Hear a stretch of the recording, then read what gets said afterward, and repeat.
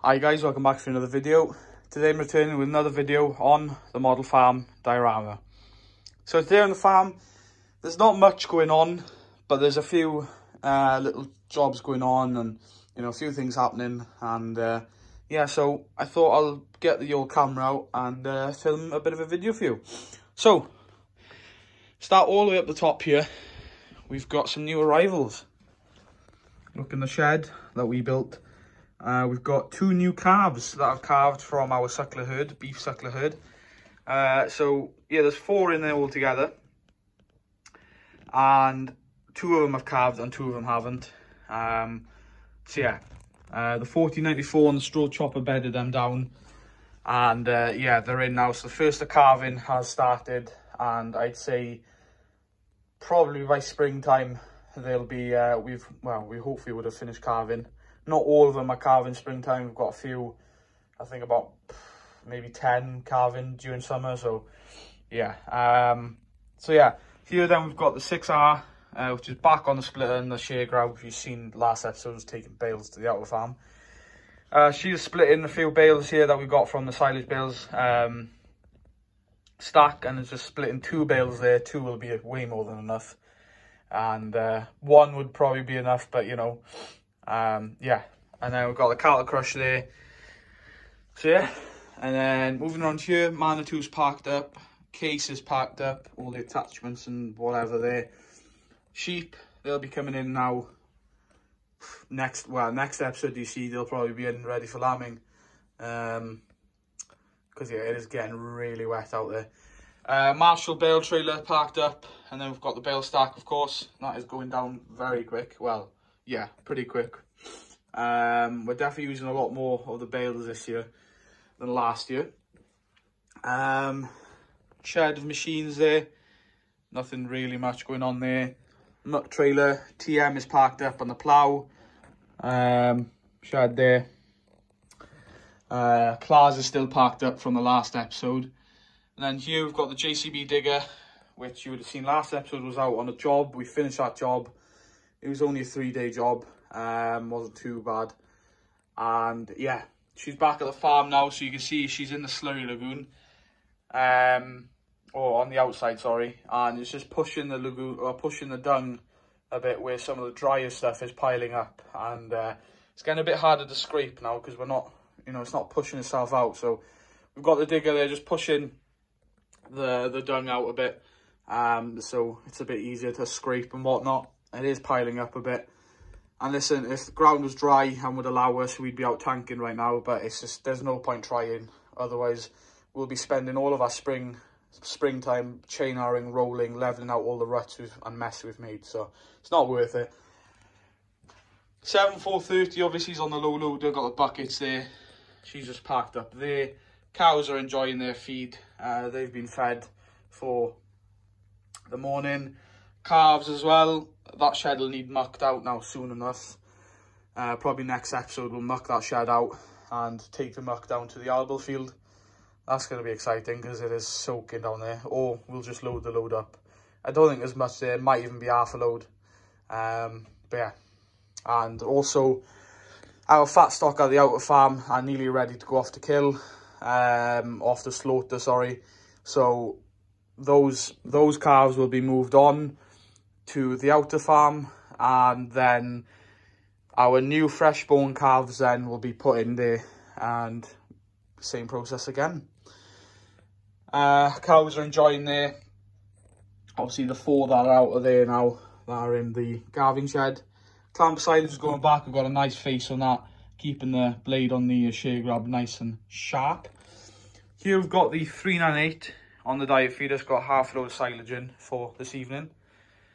Um, so the old man was in here checking the lights because the lights, the back lights don't work.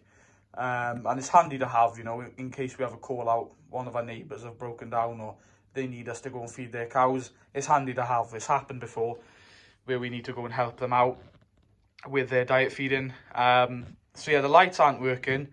So hopefully nothing's chewed our wires and it's just a loose connection or just a fact of changing a bulb or a loose bulb, whatever. Um, so yeah, we're going to have a look at that. But he was looking at that, but then this turned up.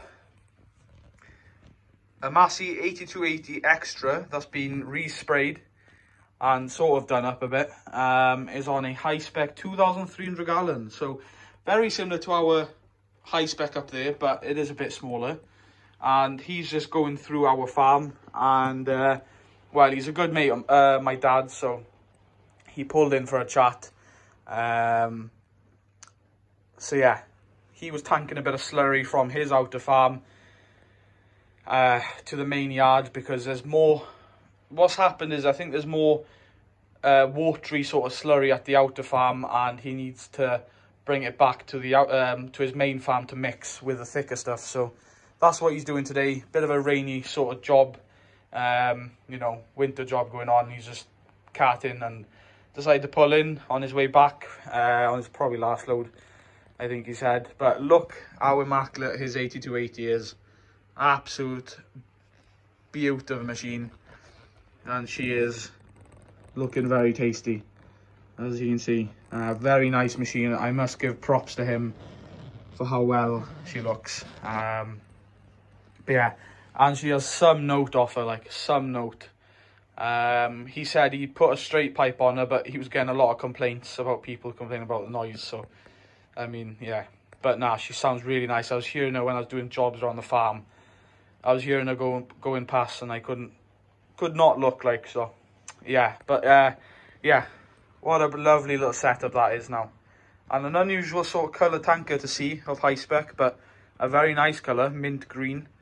Um nonetheless here then we've just got a few bits parked up we've got McHale's uh bale spikes uh fence posts bale spike palatines, tires whatever there moving down on the road we've got our 6.9. Yes, you may have seen her moved from the bale stack, which has been sitting there for three months.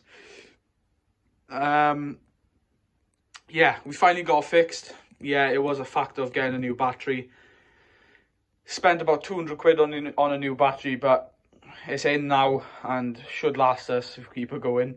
Um, and yeah, we did go over with the Land Rover and flatbed to the outer farm where we had these fat tyres uh, that we when we bought the tractor they came with these tires but then i think a month after we bought a smaller set uh, obviously for road work whatever. Um but yeah so but anyway the big tires are back on. We've got a few jobs going on fencing jobs going on which is kind of nice because it was looking quite dead for our winter but now we've got some uh fen fencing um work to do for farmers probably ready for spring i'd say um, yeah, so we've got Max in the driver, loving the 6.9, uh, probably one of his favourite tractors, I think he said.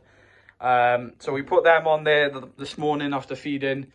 Uh, it took us probably about, must have been about nearly two hours to put them on and take the other ones off and whatnot and uh, get her ready, filled up with diesel and whatever.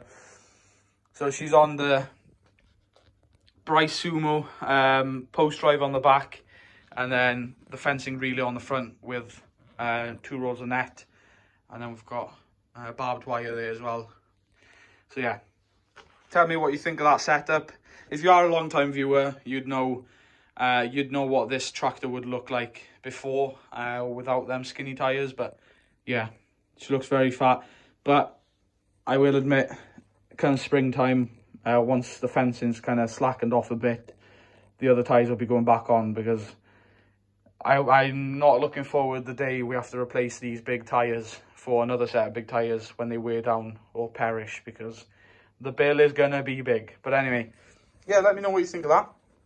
Then moving around here, you'd have seen last episode, we were on a job. The digger came back there um, about after lunchtime, about one o'clock. And the 3120 is just coming back now. Uh, we've got Farmer Bob driving her with the Herbst trailer and the Massey 3120 coming back uh, from that job. So yeah, there looks like they're going to meet on there on the junction there. Um, but uh, yeah, what a mint setup. So yeah, guys, let me know what you guys think of today's video. Uh, if you are new here, please subscribe, leave a like, or even if you're not new and you're just watching the video, please do hit that thumbs up button Of course, if you have any questions you want to ask me, feel free to ask in the comment section down below. I try to get back to every comment, but sometimes I do forget um, about comments. But I do reply in the end. So just send me a message if you've got any questions. Video suggestions you'd like to see. I know I was doing the conversion series and that's kind of gone away but I do want to bring that back. I've just been really busy with other stuff. Uh, you'd seen there I wasn't uploading as much.